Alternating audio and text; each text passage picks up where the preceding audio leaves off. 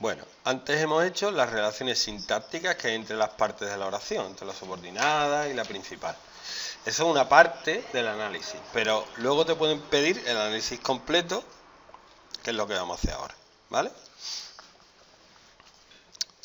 Aquí te ponen una serie de pasos que puedes seguir para analizar la oración. Primero buscar los verbos. Tienes contó,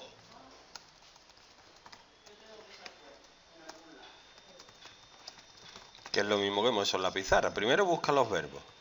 Contó, habían adiestrado y emborrachar. O sea que te está diciendo que aquí hay tres cosas. ¿Vale? Luego, señalar los nexos. ¿Cuáles son los nexos? ¿Qué? ¿Qué y qué? ¿Qué y qué? ¿Mm? Las relaciones, las relaciones ya las hemos puesto, ¿vale? Explicarlas, ya las hemos explicado, ¿vale? Y ahora vamos a hacer el análisis sintáctico. ¿Cómo sería el análisis sintáctico? Pues empezamos. Análisis sintáctico. Es una oración compleja formada por una oración principal que contiene una oración subordinada sustantiva que hace función de complemento directo y que a su vez contiene o tiene o venga, incluye, es muy importante buscar sinónimos y escribir bien. Compleja es lo mismo que compuesta. No, no es lo mismo. ¿Por qué? No lo sabes, ahora te lo explico. Que a su vez incluye otra oración subordinada sustantiva.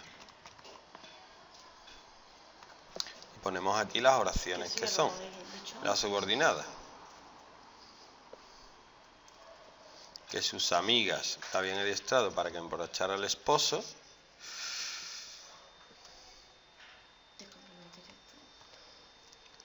Y la oración subordinada incluye otra vez una oración subordinada sustantiva que emborrachara a su esposo en función de complemento circunstancial de finalidad.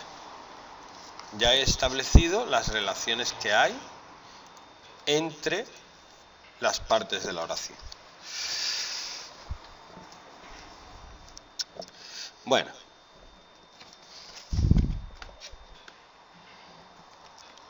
Oración principal. Es toda la oración. Primero, tiene el sujeto, sujeto omitido, que sería contó Ella. que sus amigas. Él, ella. Ella, él, ella. Bueno, aquí sabemos que es ella. Voy a copiar hasta aquí.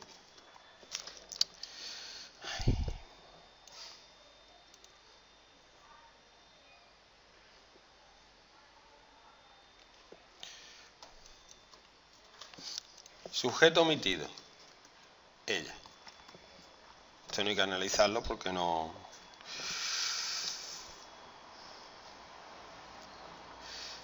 hay que poner cierto formato, ¿vale? Decir lo que es y la función que hace o al revés. Sintagma nominal. Lo que es y lo que hace. Sujeto omitido, ¿vale? Lo que es y la función que tiene. Sintagma verbal. Predicado verbal. El resto de la oración. Y la escribo. El resto de la oración que es toda la oración contó que sus amigas la habían adiestrado para que emborrachara al esposo. ¿Vale? Luego dentro tiene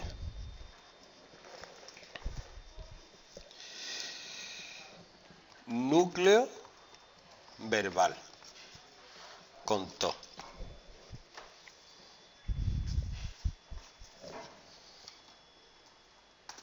Y luego tiene un una proposición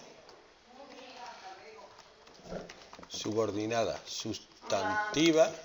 Buena. Bueno. Proposición subordinada sustantiva, que hace función de complemento directo. Todo el resto. Contó que su amiga la había echado para que emborrachara al esposo.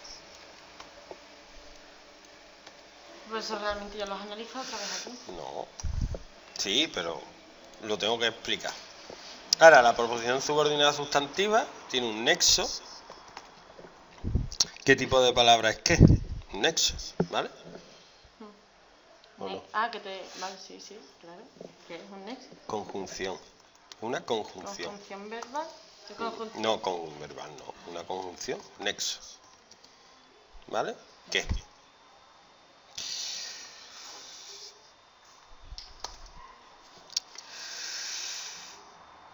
Y ahora, eh,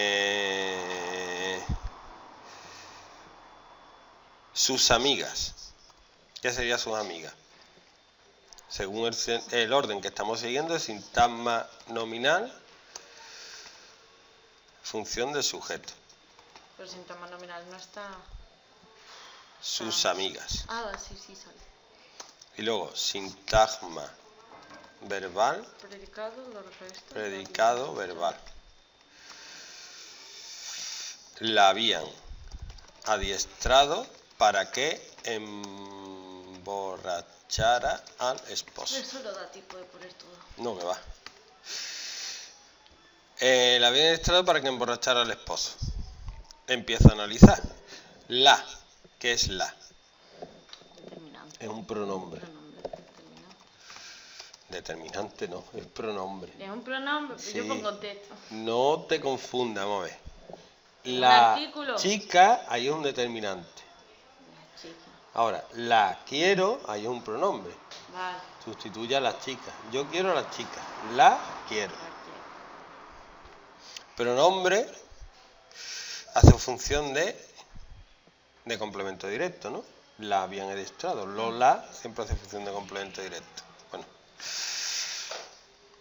Pronombre, función de complemento directo. La. Eh, como lo hemos puesto, núcleo verbal. Habían adiestrado. Y luego, para que emborrachara al esposo, yo pondría, ¿eh? Sintagma preposicional, función de complemento circunstancial de modo. ¿Vale? ¿Y eso cuál? ¿Para que emborracharme después? No. De modo, de, de modo no, ¿de qué? De Finalidad. Para que emborrachara al, al esposo. Y luego esto está formado a su vez, ¿ves la estructura? Esto viene muy bien el programa porque te va dando, porque va... Para. Preposición. Para. Y el resto es una proposición subordinada sustantiva que hace función de para eso. Hace función, como yo lo he puesto, un complemento de circunstancia de finalidad.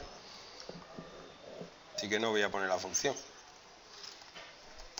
Que la función ya está implícita aquí, ¿vale?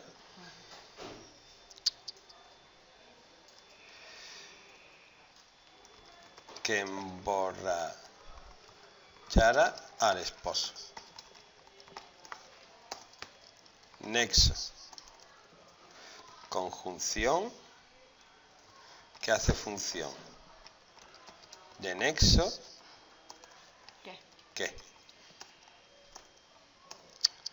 A ver. Emborrachar Los pesos, sintagma verbal. Predicado verbal.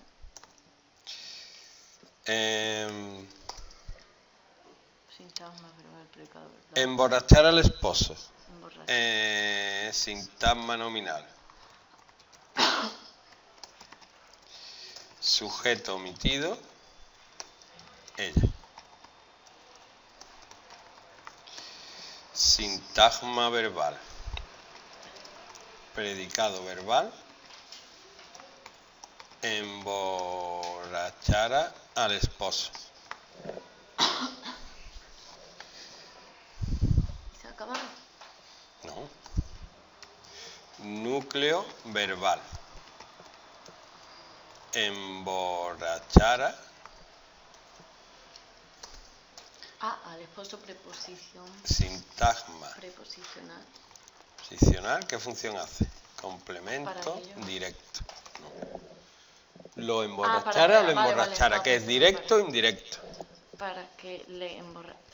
Indirecto. No. ¿No? Yo lo compruebo pasando la pasiva. El esposo fue emborrachado por ella. Entonces tiene que ser directo, introducido por A porque es de persona.